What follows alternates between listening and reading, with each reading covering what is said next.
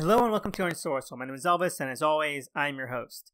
Alright, so this is going to be quite a short one. There's not a lot to talk about this week, and also not a lot I read or watched. So let's move on to news topics. First of which is that apparently the first round of DC's round robin tournament of what books are going to be made into miniseries or graphic novels has concluded. And it's about much as you expect. It'd be too long to kind of go through the rest, so it's going to be like the last update until this is all over.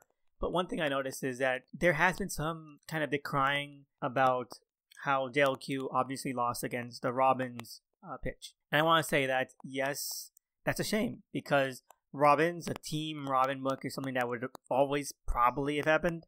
Like, there's no way that wouldn't have happened at some point, and there's been a bunch of stories and miniseries and maxi series and event series that have already kind of used the entire idea already. So it's uh, it's kind of a shame. I just say that really probably had nothing to do with any kind of bias, other than well, the Robins are part of the Bat family, and the Bat family is always going to be on top. It's always going to be the thing with the most public saturation. It's something very niche, like JLQ, probably wasn't going to fare as well anyway. Hopefully, the next couple rounds are more interesting. And the only other thing I want to talk about this week is that apparently we have the first full trailer for the Jupiter's Legacy show, and it looks really fucking bad. I mean, I don't know how to put it. It just looks terrible. It looks generic. It looks so over the top and so self serious at the same time. And it lacks all the charm, all the groundedness, and all the all the softer kind of nuanced natures of the comics. And it's a shame that this is something that Mick, that Millar has really kind of attached his um, wagon to because it's something that that really really could have you know been handled with a lot more justice, a lot more finesse, and a lot more authenticity. I'm so excited that at the very least this has motivated Millar to do like the finale, the final, you know, max series of this trilogy. But other than that, it sounds like it's going to be really bad, and the trailer doesn't do anything to dissuade that opinion. Anyway, let's move on to what I read this week. First off, the Immortal Hulk number 45, and it is amazing. It's great. It's it's another issue that's still kind of more focused on being like an action packed issue. It's not something that really does a lot of kind of groundwork. It doesn't really slow things down. It's still something that feels like it's going at a rapid pace. But what it does and does so well is that it finally gives us like this perfect cap off to Joe's whole arc about self discovery, about really coming to terms with identity and what he wants to be and how he sees himself as we see the return of Joe as the Hulk, and not just any Hulk, not just Joe Fixit, the Gray Hulk, but as the Incredible Hulk. He's come to reclaim that title, to reclaim that that mantle, and I think that's really wonderful because that's who he is.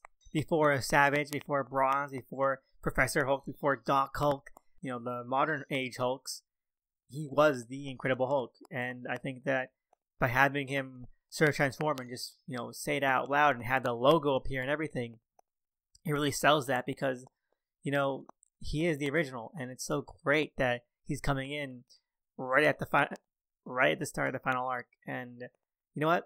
I'm so glad for that, and it's a pitch perfect moment, and it's such a triumphant moment, especially because of all the all the tender um, character work and character complexity that Ewing has been doing. It just gives it such a such empathetic and such an engaging impact. So two thumbs up. I really enjoyed it. There's some other stuff sprinkled throughout, like with Doc Samson and, and Doc Sasquatch. That's really fun. Kind of seating the, the area for the Gamma Flight spinoff that's going on. But yeah, fingers crossed that it turns out, you know, to stick the landing. Four issues left. And uh, yeah, can't wait. Season's up. After that, we have a snoozer X-Men week. We have Excalibur and Marauders. And I have to say, both of those have really started to lose their luster with me um, Excalibur more than anything because it's a series that while I enjoyed it and defended it a lot in the past, I just don't understand what it's going for or what it's trying to do. And it feels so aimless and ridiculous, and there's just no real hook or tether to it. Emotionally, or introspectively, or with character work, it feels all over the place, and it always has. But now, without any kind of grounding force like Apocalypse and just having a core around him or any other characters. There's no real anchor, you know. Uh, so two thumbs down. And with Marauders, it's just tedious. I, I don't think it's too bad yet, but it's tedious and monotonous. Two the middle. Anyways, moving on to uh, what I watched this week. We have the third episode of The Falcon and the Winter Soldier, and this is probably the worst episode yet. It's it's probably the one episode that feels the most insulting to the audience, to the viewer.